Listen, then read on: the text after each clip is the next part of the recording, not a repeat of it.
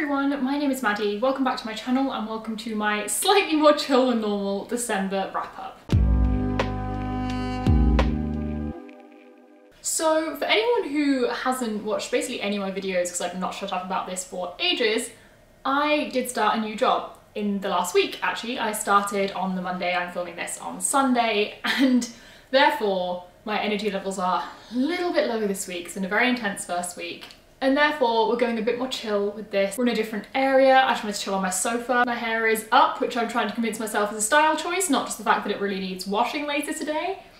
But I need to get this filmed because normally my wrap up would be up like a week before this and I've not even filmed it yet. So we're filming it right now. So overall, my reading month of December was pretty good considering the situation. As many of you know, I was moving, I was obviously preparing for my job, so much was going on.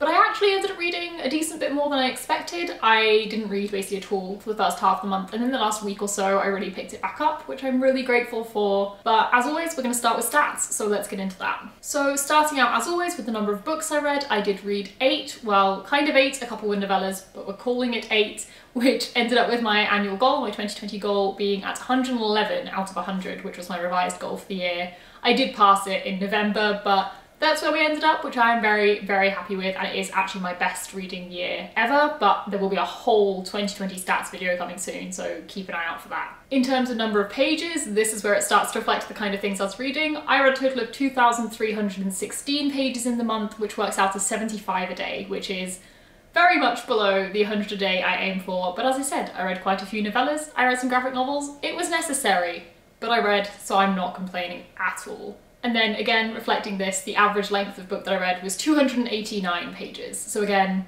lower than normal. Normally it's between 300 and 350, but I really don't care. So then getting more into like the content of the books, we're gonna go with the age range of the books I read or the intended audience. And I did read five adult books and three YA books. So back to sort of my normal, roughly 50-50, slightly leaning towards adult about what I would expect. And then for genre, I did read six fantasy books and one contemporary, and then really out of the ordinary for me, one non-fiction book. How weird is that? That's not a thing that I normally do. And then getting into star rating, it was a pretty decent month. We had two five-star reads, which were both rereads, four four-star reads, one three-star read, and then one which I'm just calling unrated, which is the non-fiction book. I don't tend to rate non-fiction. Um, I'll give comments on it, as you'll see in this video, but I don't really feel like I can give it a star rating. So I haven't. So with all that out of the way, let's get into talking about what books I actually read and what I thought of them. So kicking off, the first book I read in the month, which was one I actually started in November and just finished at the beginning of December, is The Bone Shard Daughter by Andrea Stewart. This was the November Faes and Gays book club pick. And unfortunately, this I didn't love. I think I ended up giving this a 3.5 stars, I think is kind of where I ended up with it. It was okay. The first maybe 120 pages of this I adored. I was so invested, I was so intrigued. I was struggling because I felt like I couldn't connect everyone, but you know, I thought that's gonna come later in the story, I'll just be patient and wait. And it did, but it didn't come in the way I wish it had. I still didn't follow it, I didn't particularly feel for the characters. I'm not gonna lie, having read this like six weeks ago now, I am really struggling to remember why I didn't love it but I just remember being a bit bored, I wasn't that drawn in. If you do want more of like my thoughts and more of a discussion about this book, I would recommend watching the Faes and Gays live show, which I will link, I think it was on my channel for this one, because we go into great detail there of what we actually thought of it, and that was much more recent after me finishing it, so I would have had a much more coherent thought process then. But yeah, overall it was definitely a disappointing read because I've seen a lot of people giving it five stars, absolutely loving it, and although I didn't dislike it, it definitely wasn't a five star read for me which is a massive shame. I guess just to give you some idea of what I thought of this, I'll break it down to the three basic like character world and writing. So characters were okay, we followed a vast array of characters and I felt like I didn't really connect to any of them bar maybe one, I can't remember their names at all. So overall I just wasn't particularly drawn in by any of the characters, it was okay, I didn't love it, other than Mephi, who's like the little animal companion. We liked him a lot, he was super cute, but again, not really a main character. In terms of world, it could have been brilliant. I was really, really, really intrigued by it. At the beginning of the book, the world seemed like it was gonna be so intricate and so fascinating, but I felt like it was not done to the extent it could have been. It seemed like it was gonna be this really complex, interesting magic system, and it was so simple that as the book progressed, the magic system was just there and it didn't really provide anything interesting, which was really disappointing. And then writing, I don't remember it being interesting and therefore I don't think it was particularly good, particularly bad. I think it just told the story, which is fine, but I'm someone who really likes pretty writing, so I think that would have added to it for me. But yeah, overall 3.5 star, didn't love it, may or may not pick up the sequel. It was okay, it was, it was an okay read. I don't really have much more to say on it than that. The next book I read was The Pale Dreamer by Samantha Shannon, which is a novella for the Bone Season series. I did actually pick up the Bone Season first, but I was struggling to get into it. I felt like I didn't understand the world, I didn't understand the characters and their motivations, and so the wonderful Steph from Steph Loves, who I will link down below, did contact me and say I would really suggest you read the novella first, as it adds a lot to the story. I had purposely not read it because I'm normally very cautious reading prequel novellas that were published after in case they spoil anything or hint at anything I don't want to know yet. But I took her advice and I went and read it and yes, it was definitely the right call. So as I kind of said, this is a prequel to the Bone Season. It does follow Paige, who is the main character in the Bone Season, and I'll do a quick synopsis for Bone Season when I'm talking about that, as you can see is the next book. But this does follow Paige before the beginning of the Bone Season in Scion in London, and I don't really know what to say. It's a difficult one to summarise because it's only a short story, but it's basically when she's first joining this sort of underground syndicate of people who are clairvoyant, and you're getting to know her and the other characters and it is definitely so so useful in learning about the characters and learning about the world because I really felt with the Bone Season, which again, I'll say more in a minute when I'm actually talking about it, it throws you in without really any explanation, I really felt, and I was really starting to get into it for that reason. I didn't understand why the characters were acting how they were, I didn't understand why the world was how it was, and so reading The Pale Dreamer first made so much difference. I gave it four stars. I really enjoyed it. It's only like 70 pages and I think it's like 99p on Kindle. So highly recommend giving that a go if you do want to get into the bone season and definitely giving it a go before reading the bone season. But then, of course, that leads on very nicely to the third book I read in the month, which is The Bone Season by Samantha Shannon. Is anyone surprised? Um, again, I gave this four stars. I really enjoyed it. As I've already mentioned, I did struggle to get into it. I felt like the world really, really was not explained. I'm fine with info dumping, I'm fine with being thrown in, but I felt like all we knew is there were clairvoyants, some people didn't like the clairvoyants, and there was this weird dystopian world. There was no almost flashback to how this had come about, how the clairvoyants had been seen as a bad thing, why they were seen as a bad thing, how they'd been oppressed. Just that whole progression of time seemed to be missed and we just went in when it was already like this with no backstory, which I struggled with. As the book progressed, more of this was explained. We got some kind of flashbacks, we got some bits like that, so it did get better. Um, and I ended up really, really enjoying it. I am very intrigued to see where the Mime Order goes from this. I didn't love this as much as I expected, but I'm very, very optimistic that the rest of the books in the series I will. Now that I know the world, now I know the characters, now I feel for them, I think I'll get much more invested in the Mime Order and the rest of the books. But yeah, overall a four star, a really solid read, but not like a new favourite or anything yet, though I still have a lot of hope for this series being a new favourite by the time I'm maybe not done with it, but caught up with it slightly more. This was also on my sort of top series to read in 2021 list, so although I got to it a little bit early, I'm starting to make progress on that list, which I'm very happy about. I would also suggest keeping an eye out for a reading vlog of this series if you'd like more thoughts. It may be a couple months until it comes out, but it's a thing that may be coming and it might be part of the Dystopia project, so keep eyes peeled if you want to know more thoughts about both this book and the rest of the series. Next up, I read I'll Be Home for Christmas by Mason Deaver. This is a super, super cute little novella published by Mason Deaver as a sort of fun Christmas novella. It is a kind of sequel, companion novel to their book I Wish You All the Best, which I read in 2019, I think, which is a super, super fantastic YA LGBT contemporary story, which I'd highly recommend. And this is just a really cute, Christmassy, adorable novella. I had the best time reading it. I read it on Christmas Day in one sitting and it was exactly what I wanted. Um, it's just adorable and like one of the central characters is a golden retriever and if a dog features highly in a book, I am happy. So I had the best time reading this. It made me so happy. It's so sweet. I really loved being back with Nathan and Ben. It was just adorable. Highly recommend you check it out. And also the way it is being sold is a pay as much as you want, kind of pay as much as you can. And all of the proceeds are going to, I've just checked, the National Centre for Transgender Equality, which is a charity. So if you have any interest in picking this one up, please do so. The money is going to a good place and it's super cute and fun and Christmassy. And I know we're past Christmas now, but I'm still feeling those like Christmassy, wintry holiday vibes. So I'd recommend it. The next book I read was Days of Blood and Starlight by Laini Taylor. This is the second book in the Daughter of Smoke and Bone trilogy, and I did read this for Dosabalong, which is a read-along I'm hosting. If you want to join in, we are reading the third book, Dreams of Gods and Monsters, in January, with a live show at the beginning of February, so there is still time to catch up and join in for the final live show. We will also be reading Night of Cake and Puppets in January. Well, I've already read it, but we're going to be talking about that in the final live show as well, so feel free to join us. But for now we're here to talk about Days of Blood and Starlight. As I said, this is the second book.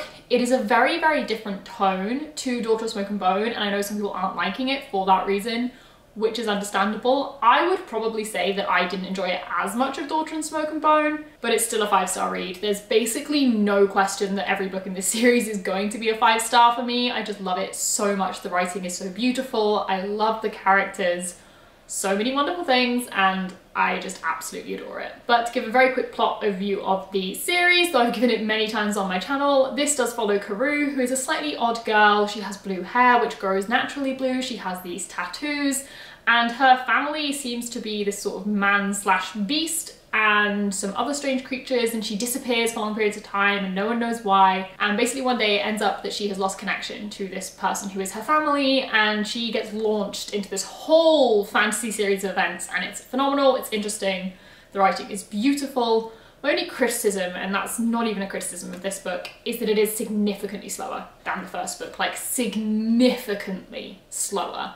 The first half of this book I wouldn't say that not a lot happens, but it happens much, much, much, much slower than the first book, and it does take some time for everything to ramp back up and sort of maybe very slight spoilers, so just get like 10 seconds ahead if you don't want to see this. But a lot of the characters in this book aren't necessarily together for the whole book, and so that kind of feels like it slows the pace down slightly because you're not seeing their interactions.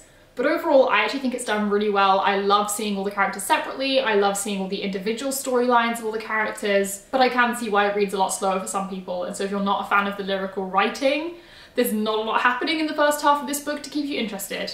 But I personally loved it and cannot wait to read Dreams, Gods and Monsters this month.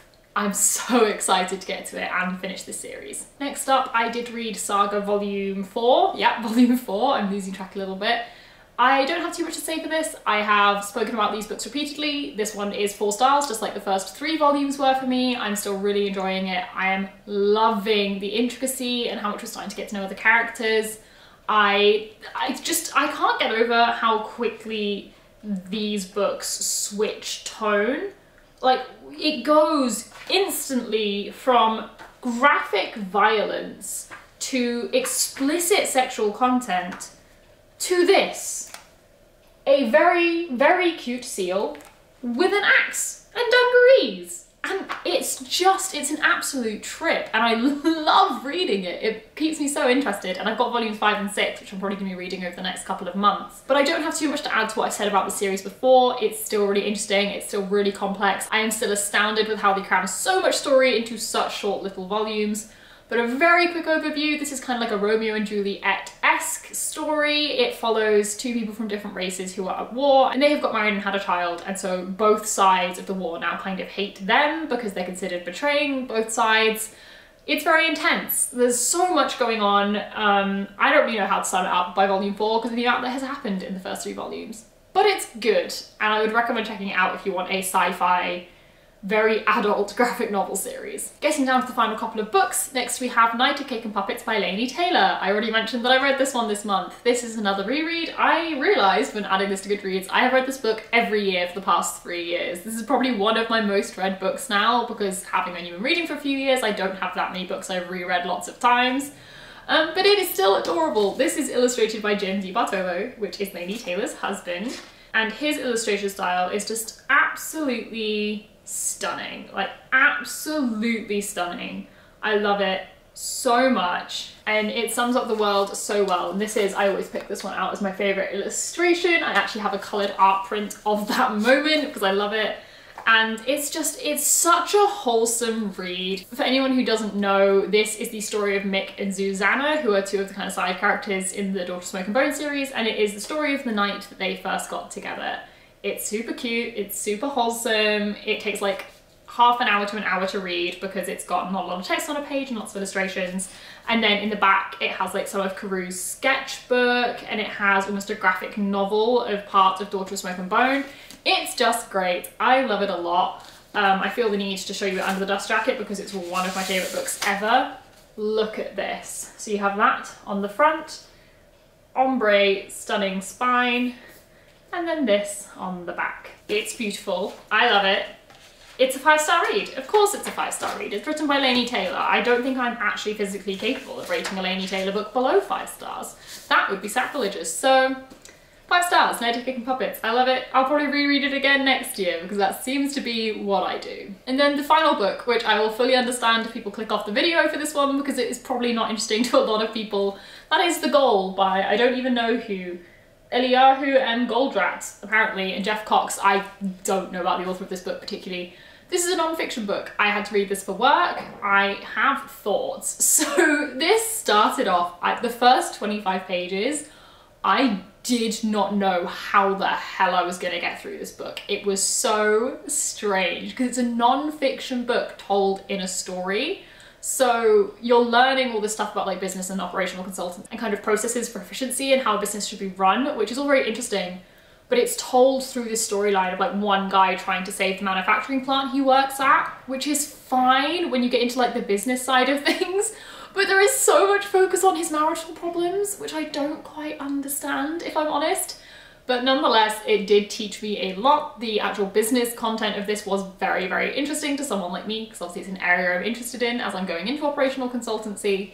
So I really enjoyed it and it has definitely been very beneficial my first week of work as I've mentioned, I've just finished and the number of times something got mentioned which I could refer back to this in my head and be like, oh, I have already kind of come across a case study for this, which really helped. So they were right in making us all read this. But why the marital problems were necessary and why the kind of whole intense storyline was necessary, I don't understand. I understand why it wasn't just like, here's this process, here's this process, because that is harder to take in. Context really helps. But there was so much about his family and marriage and just life that felt, felt a little bit unnecessary. But nonetheless, it was interesting, it was a good read. I would recommend it if you're interested in like business processes and sort of efficiency in businesses, but I realise that's probably not for most people on this channel, as most of us read more fiction. But that is it, those are the books that I read this month, plus a couple of ebooks. As I already said, I am pretty happy with what I got through this month. It was certainly more than I expected it to be when the month started with how busy I was, but I got through it and January is already going a lot better, so fingers crossed I'll have a decent wrap up at the end of January for you all. But that's it for the video. I think this is a bit of a chaotic wrap up. I, as I said, I'm very exhausted, so I'm not sure how coherent my thoughts have been, but I tried and it needs to go up. So that is it. Thank you so much for watching. I hope you enjoyed it. Have you read any of these books? What are your thoughts on the books? How did your last month of the year go in terms of reading? Just let me know. I love chatting to you guys in the comments. That is it. So subscribe if you'd like to see more content from me. All the links to other social media as well as book clubs and read logs that I host are linked down below in the description as always if you want to take part in any of those. That's it for the video. So bye and I'll see you in the next one.